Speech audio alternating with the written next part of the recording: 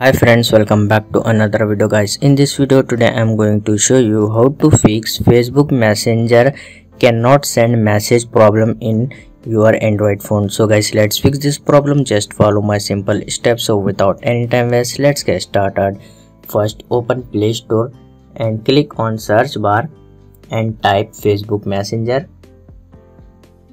Okay you can see here facebook messenger is showing you can see here messenger update is showing. Just click to update messenger. Make sure messenger app is up to date. Second step is open android phone setting and scroll down.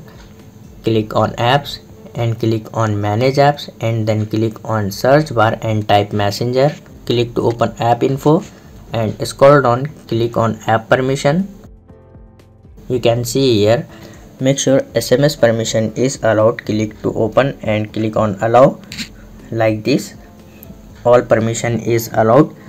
Go back and click on restrict data usage and check this box wi-fi and mobile data. Click to ok and click on clear cache click ok. And restart your phone open messenger app problem is solved. So guys this is way to easily solve messenger error in android phone.